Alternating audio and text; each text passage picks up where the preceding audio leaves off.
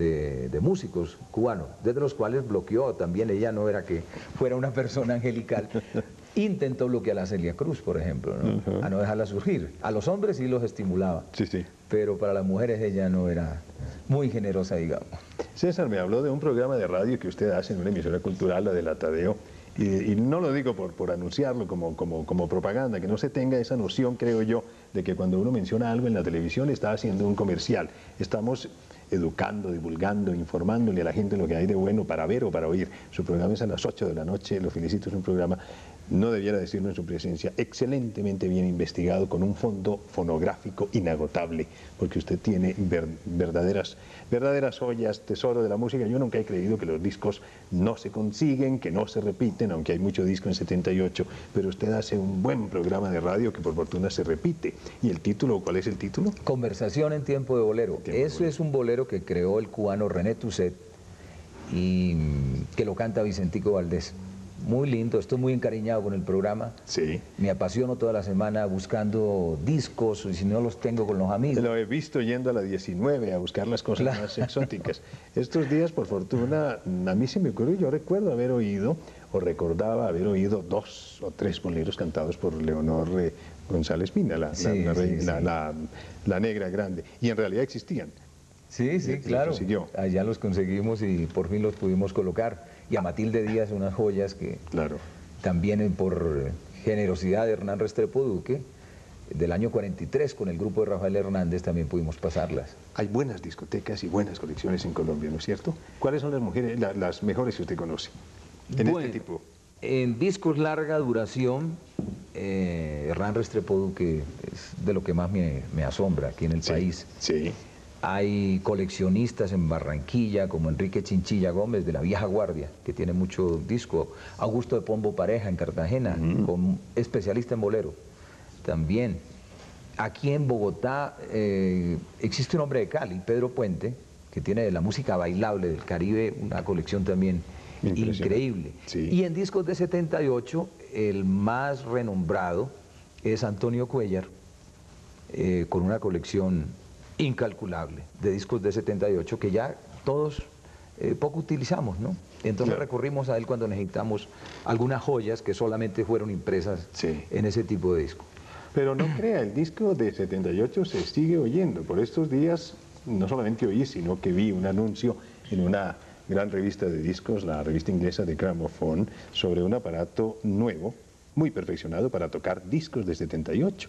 Hay gente que todavía oye sus 78 que no han sido transcritos o a larga duración o al disco compacto y bien, bien limpiados, bien, bien cuidados, con este aparato dan un sonido donde casi desaparece el ruido de superficie. Además usted lo puede trasladar o a un cassette, una casete, o lo puede trasladar a una cinta, ¿no es cierto? Qué bueno. Porque en realidad sí hay mucha cosa de 78 que no ha sido mm, vertida a larga duración, ¿no es cierto? Exacto. Mm. Sí, todavía eh, algunos artistas que grabaron dos o tres canciones apenas, ¿no? Y que no dan para un long play, entonces sigue valiendo ese disco de 78. Otros programas interesantes de buena música popular bien hechos en, en- en nuestra radio. José Arteaga hace un buen programa, ¿cierto? Claro, también mi amigo de la, en la Tadeo Lozano, eh, muy informado, muy estudioso y con una selección muy fina de, su De, de música. salsa más que todo. Guarino Caicedo, Guarino en la- Caicedo en la Radio Nacional. En la Radio Nacional, también periodista del tiempo. Sí, él es un, un- un conocedor muy, muy, muy en serio, ¿cierto? Claro. Sí. En Cali existe un muchacho, Gary Domínguez, de la Taberna Latina, quien, la música moderna, del 60 para acá nomás, eh, de Cuba y de Puerto Rico, tienen un buen programa allí en esa ciudad, ¿no? Y sitios especializados donde uno vaya a conseguir, o en 78, o en larga duración, en Bogotá también, cosas eh, raras, no reimpresas. También hay muy buenos Bueno, sitios. creo que sigue siendo insu- insustituible San Victorino y la Avenida 19, que es el mercado nacional más grande, ¿no?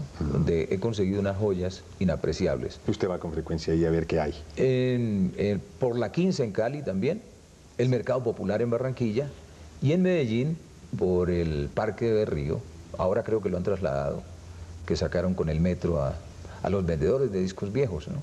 Ajá. Sí. Eh, sí, eh, un disco muy hermoso para mí, una verdadera sorpresa, hecho en París, que no se consigue en Colombia, sobre esa artista formidable eh, que no se presenta mucho. Usted la, di- digamos, la rescató el año pasado en su Claro, establecimiento, la eh, Totó la Momposina. Sí, ha sido... Eh, Este disco, ¿cómo, cómo, cómo lo consiguió? ¿Cómo su- ella misma no sabe que existe este disco. ¿O no lo tiene? Ella me lo regaló, pero Ah. creo que eh, entregó todo lo que tenía y ahora se ha quedado sin el disco.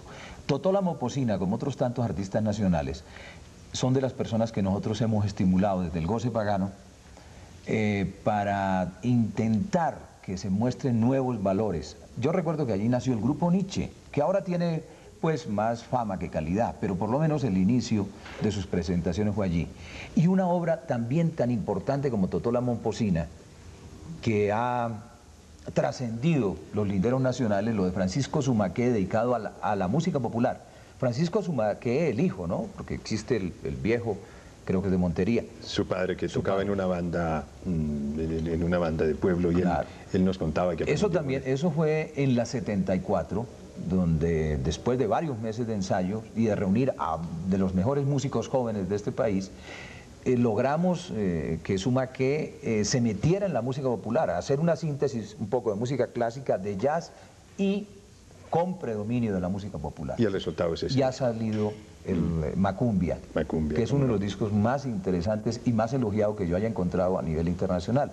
Lo mismo que el de Totó, una voz que la tenemos casi marginada, eh, que no hemos apreciado lo que vale. Y Su labor, además de investigadora con las viejecitas mm, momposinas, donde ella ha extractado tradiciones ya casi perdidas. O sea que una Y verdadera con su voz tan hermosa que está, en, folclorista en el sentido. que está en este momento en su cumbre, que eso sí lo han apreciado en Francia. El disco es premiado en Francia y ha cantado en el Teatro Olimpia. Una, una- una artista muy importante que se merece más presencia, más continuidad entre los públicos.